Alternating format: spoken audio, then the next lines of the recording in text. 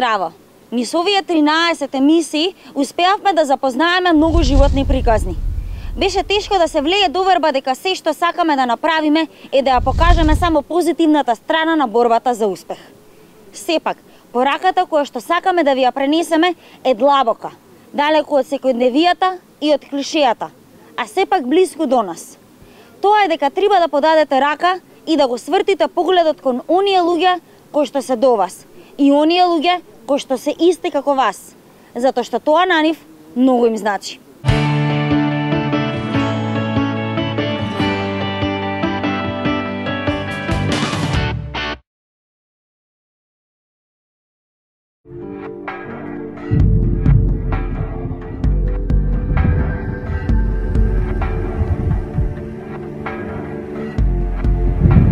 бив брутално, брутално истепена од страна на сопругот. Ме тепаше мене кога ќе немаше ни за цигари.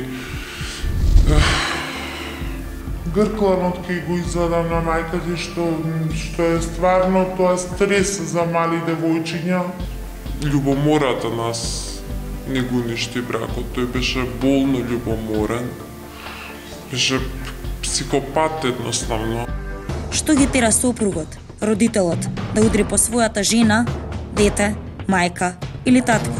Зошто бесот го истураат на најблиските? Статистиките според Министерството за внатрешни работи се следни. Да кажеме 2004 година, значи после оној период од март месец до декември 2004, имаме вкупно 149 кривични дела поврзани со семејно насилство, додека во 2011 година имаме 593 кривични дела. Во последно време имаме и пријави и од страна на мажите дека нивните жени, сопруги, вомбрачни партнерки ги малтретираат.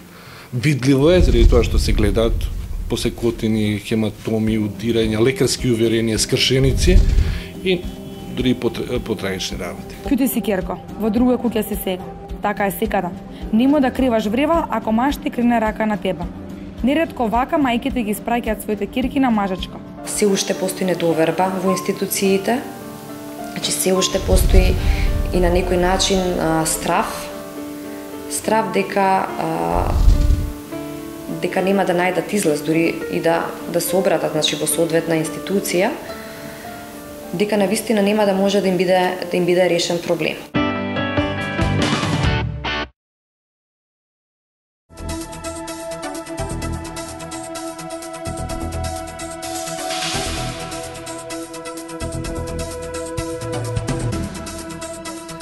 Билет во еден правец или поточно пат од кој нема враќање назад. Вака најчесто се опишува хероинот, најтешката и најопасната дрога која љубопитноста ја претвора во смрт. Едни поради забава, други поради економски или семени проблеми, утеха наоѓаат во ова зло која ја скратува младоста. Ако статистиката направена по меѓународни стандарди покажува дека во Република Македонија евидентирани свини и преземи има 2800 зависи на хероин, ајде нека бидат и 6000, да не ги знаеме сите, 1500 ги веќе ме вклучивме во првата програма за третман лекување со субституциона терапија со метадон. Многу деца на возраст меѓу 10 и 14 години почнуваат да експериментираат со разни дроги. Така да тоа може да стане многу голем проблем во иднина и ние мораме за тоа да и да се подготвиме и да бидеме спремни во секој момент да ги разрешиме таквите проблеми. Третманот треба да се прошири на сета група на која е потребна и тој треба да биде бесплатен. А, а, доколку се бара финансија од пациентите за да се лекуваат, приказката е слична како а кога се бара на црниот пазар пари за да добијат субстанцата која живот им значи. Голем проблем е и тоа што немаме соодветни програми за работа со родителите. Дури во рамките и на центрите за лекување, популарно рече метадонски центри или еви програмата за а, а, лекување со бубронорфин, се само единствено медицински модели. Значи не се вклучува моментот на ресоциализација, многу малку се работи со партнерите на, на клиентите.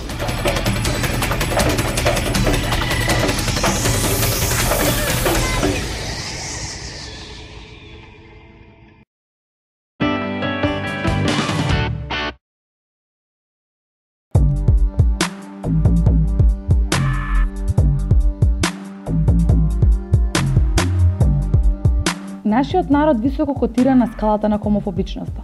Според истражувањата што се направени кај нас, дури 90% од испитаниците одговориле дека не би сакале да имаат сосед хомосексуалец. Чувствување на одбивност, етикетирање, вербални и физички напади. Ова се само дел од последиците што ги трпат нехетерогените лица. Силните патриархални односи, традицијата и влијанието на религијата, на општото мислење, се најсилни причини што македонците се хомофобични. Едната е традиционализмот, со целиот тој склоп од културен систем на вредности, религиозни вредности, традиционални родови улоги и така натаму, а, кој што ја исклучува целосно хомосексуалноста, а вториот е овие илузорниве паники, класични паранои во кои што се детектираат виновници, жртвени јарци за да се оправдаат несигурните економски и социјални услови во кои што луѓето живеат. Многу е арогантно некој да каже дека а па јас не би им дал право, мислам. Кој си ти да даваш некому право? Ние се раѓаме со права. Државата треба да возможи ние да можеме да ги уживаме тие права. Реалноста уништува. Бројот на хомосексуалците секојдневно се зголемува. Медиумите употребуваат секаков речник. Па така борбата е сега дали Супермен или Бетмен е педер. Дали комшијата кој што живее до вас или оној кој купува во истата продавница со вас. Сведоци сме на растурени геј паради. Уапсени луѓе само затоа што биле дел од нив. Кој ги извести дома твоите родители? Моите родители јас сосема спонтано се се случи тоа, дури ја не знаев, еве најотворено кажувам, ја не знаев дека сум геј на пример. Кога дозна? Кога почувствува? Па биди, гледај, ја првим бев тоа го кажувам секаде, дури и по емисии, дури малку малку чудно е онака, но ја бев заљубена у еден дечко кој што многу го сакав, можам, морам да ти, да ти признам и да кажам, и ден денеска комуницирам со него. Он ми е мене многу добар френд сега. Се случи да се заљубам у една жена, а пошто тогаш бев, не беше жена, таа беше девојка која што имаше години колку што имам сега јас години, а јас имав 14 години. Така да тогаш за прв пат почувствував дека мене ме привлекува и мојот пол, собствениот пол. Први не знаеш зашто е тоа така, но сепак сметаш дека од девојчињата си различен.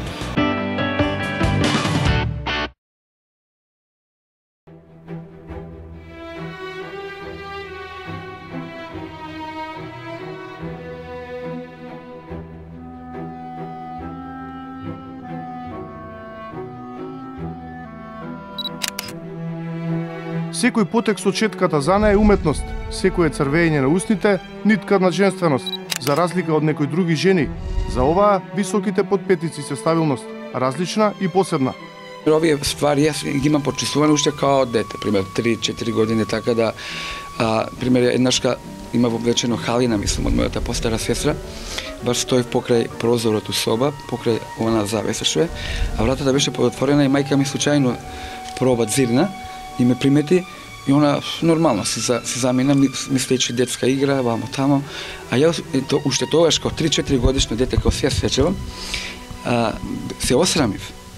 Едноставно ми падна старам, као да е тоа неприфатливо за народот. Трансексуалците се особи кои уште во периодот на пубертетот и адолесценцијата го имаат својот однос кон собствениот пол.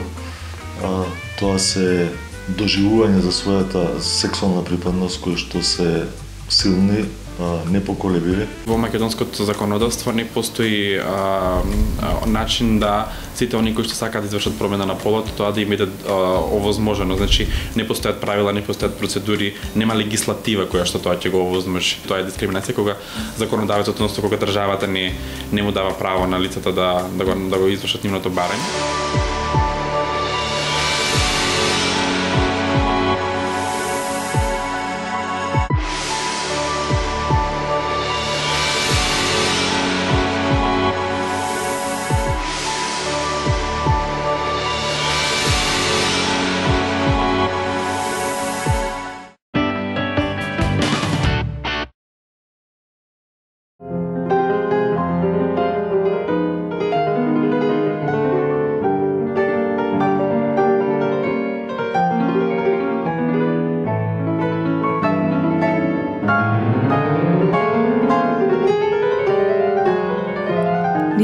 Нежни кои пророѓаат во задоволство, моменти кои не внесуваат во перудата едноставни, елегантни, но кои стануваат и динамични, ведри и полни со живот.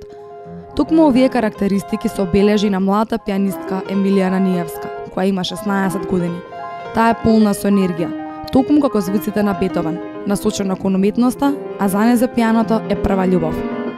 Јас уште од мала сакам да слушам музика, значи ме привлекува сите инструменти кои ги слушав, ама пианото кога го слушав, не знам, некако посебно ме привлекуваше. Имавме дома синтесайзер и нон-стоп нешто на него си свирев, си играв нешто така си правев и не знам, искрено не не не очекував баш дека ќе се запишам дека ќе свирам пиано. Има не внеса во својот свет. Светот во кој нема ликови, слики, бои, но има звуци, допери сетила, кои го надополнуваат видот. Од своето раѓање Ема не може да гледа, но незиниот живот не е различен од оној на секоја дете. Сака сега да изброиш малце до пет? Ке изброиме до пет да те слушне? Ајде. Еге, Браво. та, Одлично. ки, та, Четири. И? те, Ај покажи со рачето пет. те. Пет. Тој бројот пет. Мајката на Никола членува во Сдруженијето на граѓани Синоличка, кое се бори за подобрување на квалитетот на животот на децата со Даунов синдром. Успеала во иницијативата во ова училиште да се донесат дефектолог и логопед, но наместо државата, родителите им даваат плата.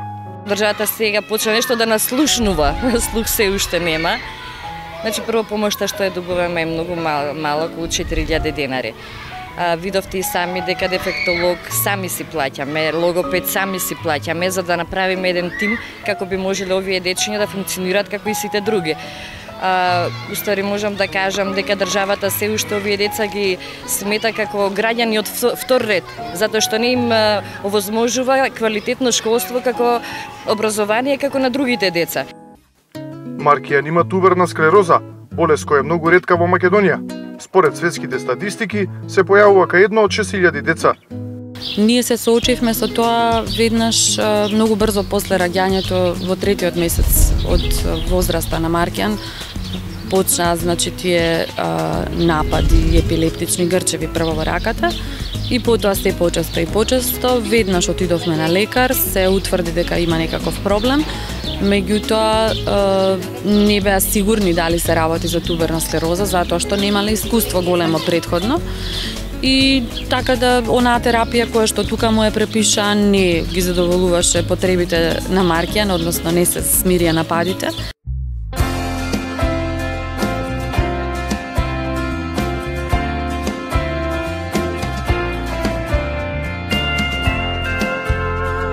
Секој човек живее сам во својот свет. Сам си ги креира гледиштата за својата околина и си ги поставува очекувањата за себе си. Понекогаш му е потребна поголема поддршка од своите најблиски, но и стручна, подадена рака. Македонија уназадува. Нема ниту слух, ниту стратегија за оние на кои им е потребно поголемо внимание. Светот, но и нашите соседи поинаку се справуваат со овие маргинализирани групи на кои им е необходен поголем третман од државата отвараат повеќе дневни центри и вработуваат повеќе животни тренери кои ќе ги едуцираат, воспитуваат и ќе им го олеснат тешкиот пат кој им престои. There's only one state in the world who's almost helping for everything. It's only the Norway helping uh, the kids every day. Uh, if you cannot take your kid at school to the school, uh, so they send a taxi, even a taxi with a teacher inside, takes your kids to school. If uh, they decide your kid needs a bicycle, they buy this bicycle. If they say, oh, he needs a computer, they put the computer. They give extra 1,500 euros per month if you have an autistic kid. Extra.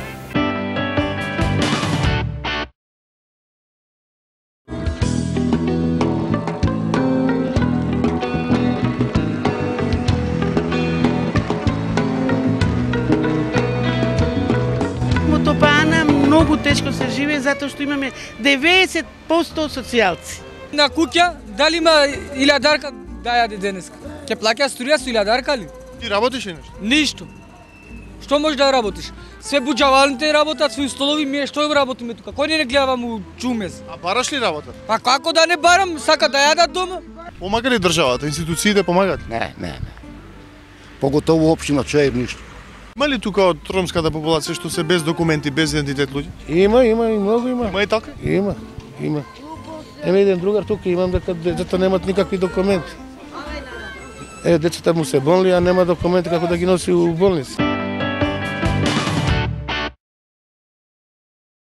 Се поголем е бројот на овие лица, а секој втор семафор, секоја зграда, згрижува најмалку по еден од нив. Жена парк е дневното престојувалиште каде што маката ја делат неколку бездомници. Се запознавме со нивниот живот со помош на Хари. Ало, Хари, здраво. Тука Марија Василевска новинарката. Каде може да се најдеме? Аха. Во Жена парк? Добро, се гледаме за 5 минути. Да, да, да. Добро, пријатно.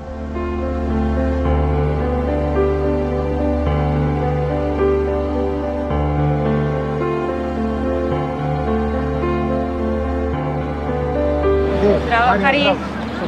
Добре е. Како што ви тегна така да да... Се Браво. дружиме. Дојдовте у нашиот дом. Јас сум се Јас сум Марија, мила ми е.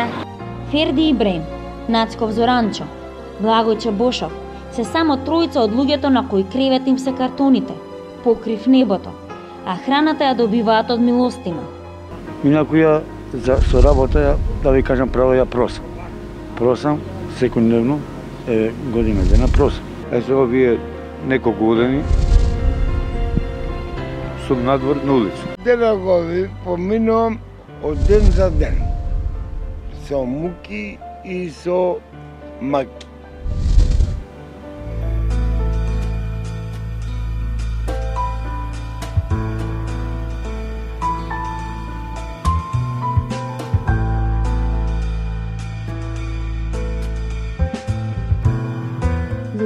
Кои парче лепе луксус, народните кујни се сноп светлина во нивните животи.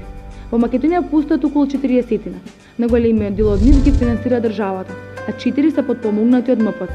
Во моментов 4000 сиромашни се хранат од овие кујни.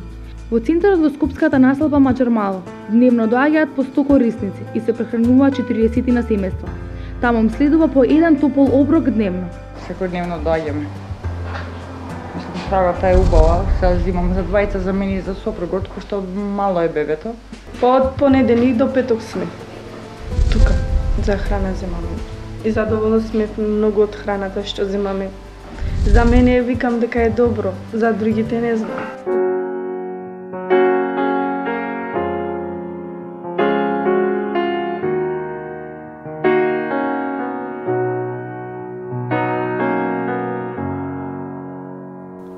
Во 12 метри квадратни живеат 12 години. Долга и мачна е Голготата, низ која поминува ова шестчлено семејство од село Драчево. Имаат 4 деца, но едва и успеваат да ги прехранат. Во ова мало сопче, месецот го туркаат со само 4600 денари. Ние сме фактичи, да ви кажам, искрено, 10 години без никакво примање. Само социјално. Без никакво примање, значи и без социјално. И без социјално. Социјално почнавме оваа година, сега еден месец. Сами се сноѓавме, сами живеевме, сами се боревме како знаеме и умееме.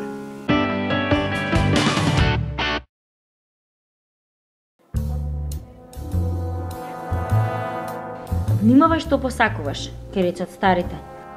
Многу често се исполнуваат желбите.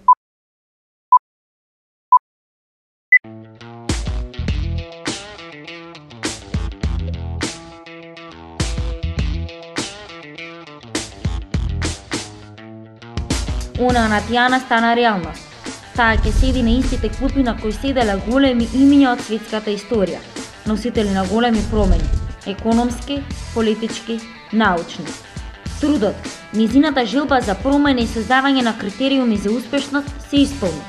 Тијана во наредните 4 години ќе биде студент на најпрестижниот универзитет Харвард во Соединетите Американски држави. Тоа што го направи моето доживување во средно многу баш исто така специфично е тоа што Во текот на моето образование јас аплицирав на околу 15 факултети во САД, од кои што на 5 бев примена со комплетна стипендија и моето образование од а, следната година, од септември го почнувам во на Харвард и сум многу возбудена за тоа.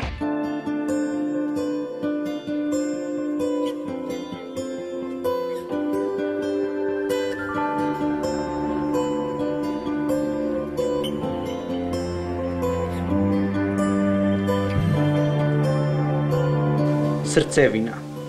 Многумина пеат за љубовта, за нејзината сила и моќ.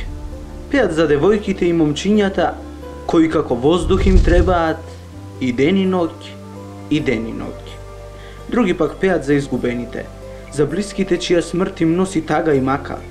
Нивното отсутство ги мачи и оној што пишува, знае да пишува и да плачи. Третите пак ја опеваат татковината, чија оддалеченост им смета – и затоа седат во тивките ноќи и песни за татковината плетат. А јас пеам за мајката, што животот ми го подари. За природата во моите песни пеам, за мајката што со постоењето господари. Ова се стиховите со кои младиот Филип Димковски од Прилеп ги освои срцата на жирито на меѓународниот надпревар за поезија во Нови Сад. Победи во силна конкуренција од неколку илјади поети. Иако има само 17 години, Филип пишува како зрел поет. Оваа награда му отвори многу врати во светот на литературата. Организаторот и директорот на фестивалот ми посака да продолжам да пишувам и да творам и пламенот на поезијата да го носам високо во себе.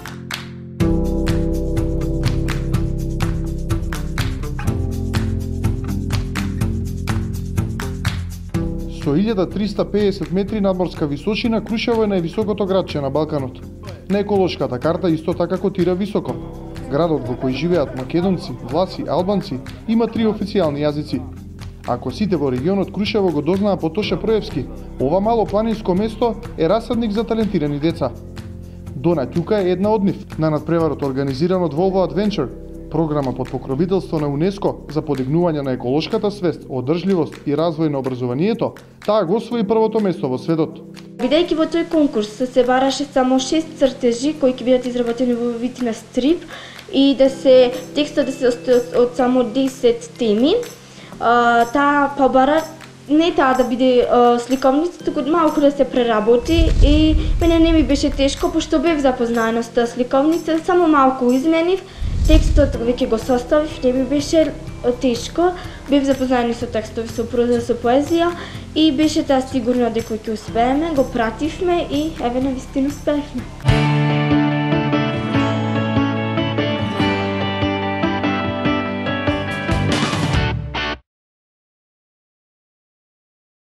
Здраво. Здраво. Здраво. Здраво. Запре. Не ми е разлетано? Ајде. Здрава, здрава, здрава.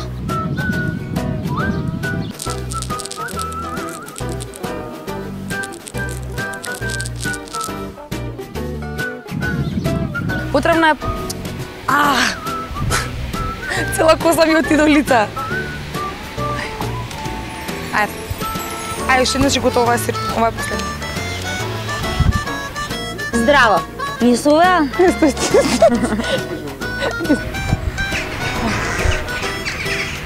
Брза многу?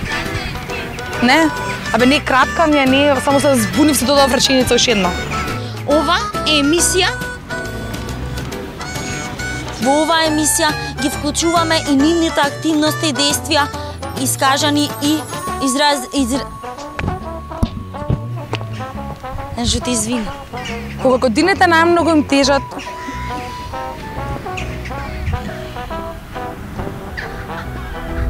Ще една шајде.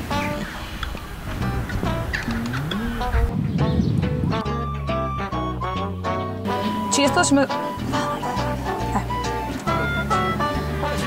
Пак се ти не гледаш нигде у празно. Можеш ли да гледаш у камера на дружбори или да гледаш? Ама има мене да дека зборувам. Не гледат.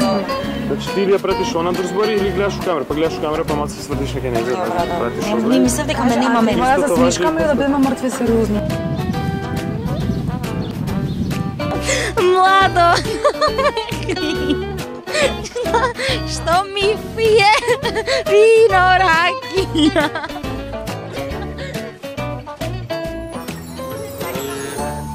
Ничка е само малце потевко, само да снимаме, мамо.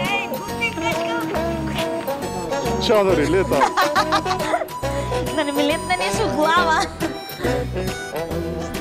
Ана Јовковска и Горан Величковски. Не, Макс, зашто застан? Зашто застан? Не! Тоа одење напред значи решавање самостојно на секој проблем. Дали? Да. Е! Ве запознаваме со поинаков свет. Ве запознаваме со етничките групи во Марија, Македонија. кај гледаш, Марија? Ми замавна погледот, затоа од почеток почнав. Да не се терам многу. Ајде да пробаме. Нема бе, нема Ма добро, чим ти не слушаш, не е битно ние, не знам. Битно е снимката. Чим Димко вика дека е окей, тере. Да, добро, ајде. Вака, значи, за, е, сега да ги завршиме побрзо, да снимиме маца од млади инсерти и да имаме време додека идеме кај Роберт да каснеме нешто.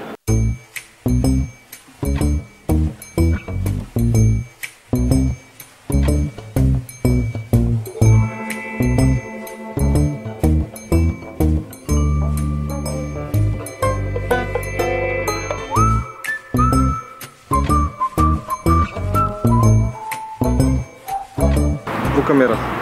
Camera, yes. I. Ајде, Филип. Оди. Може ме дува ветер? Ништо не те дува, не те бри, не брига. И уште еднаш. Одлично. Оти на се кој, кој дневно пас греши. Ајде. Сврти се тамо. Може? Филип, не ме гледај. Ама види го сега, сорти се на така. Те замолувам. Метадонската тера.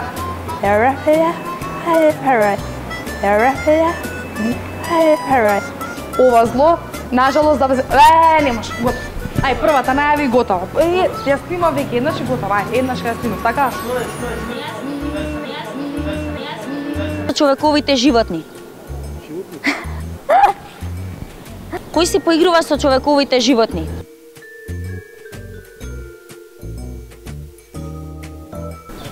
Добро е тука или смешно е на мостов?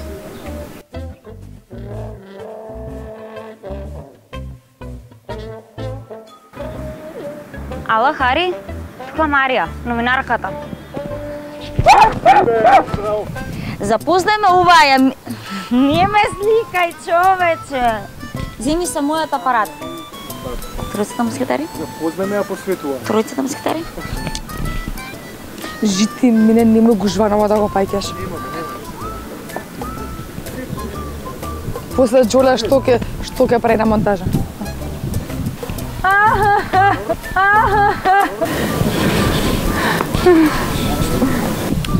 Ме гледаш. Ајде. Е, и да. Е, и да. Ајде. Абе, па како да ставам, бе, луѓе? Мене ми е малце чудно.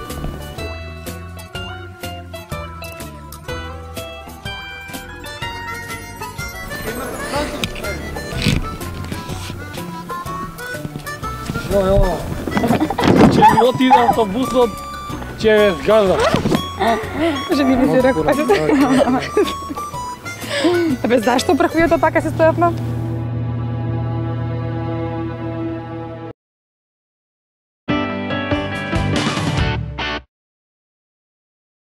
Опште само што им дал на 10 деца. Може со 10 деца имаме овде 500 деца. Кажете ми, не викајте, бе, не викајте. Мојата сопруга си бараше од мене да и, да, да, и, да и дадам нешто тоа. Јас си давам нормално, викам, земи викам тоа што ти се што ти се виджа, ако ако нема проблем, нека нека се снима јо, нека го покажи ова, зашто да не. А, на ке нас Да, да. Овде ка падне.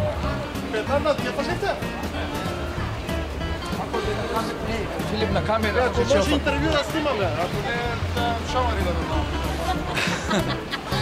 Да. Да. Значи, Проба, може ли прво? Не мора одма директ. Не може, ајде, проба. Ајде, сега ќе се соберам. Ајде да пробај. Превентирани мерки за визната ребеларизација. Добро, добро, убаво, убаво, супер, топ, Не, топ. се Само чека. поспорт, ти брзаш многу. Е па таков сум, така зборам. Добро, тоа е. Демек превентираните мерки за визната либерализ... Либерализација, добро, ќе ја преведа Тонита.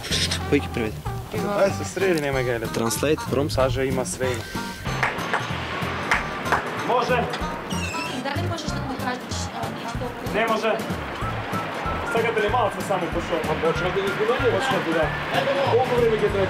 Oh my god, you boy! Bist du Mann? Hä?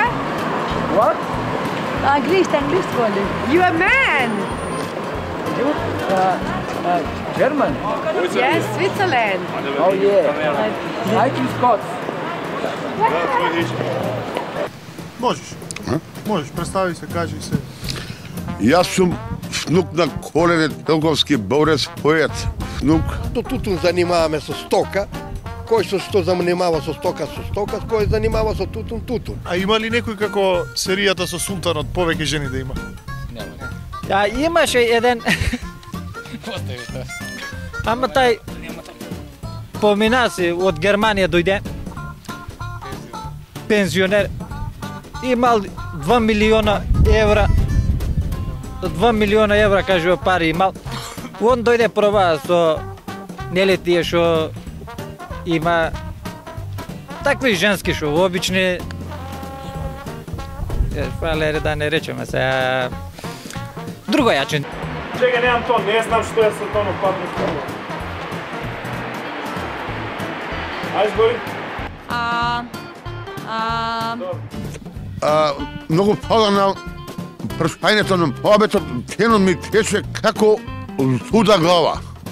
Немам компас у животот, немам компас во времето, не знам што да правам, као будал сум, ме фаќа нервоза, скр... ме паќа напади лудило, не знам што да правам. Од маки, од нервози, самес, сам сум, нема што да правам. Со кого побед правам? Со дридот или со пачките?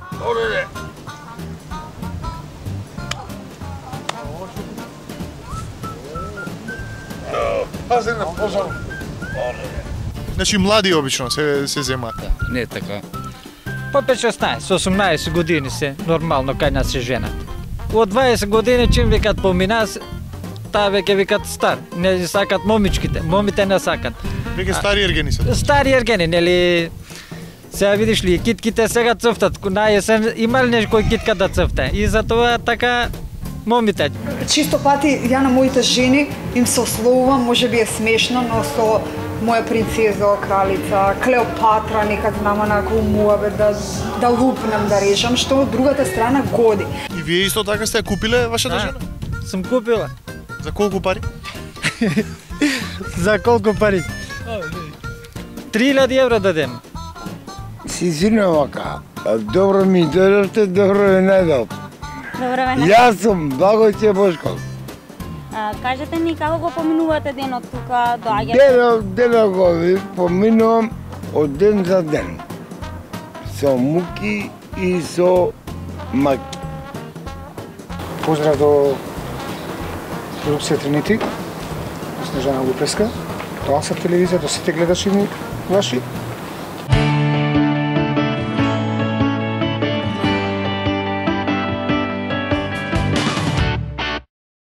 Ова беа хероите на секојдневието.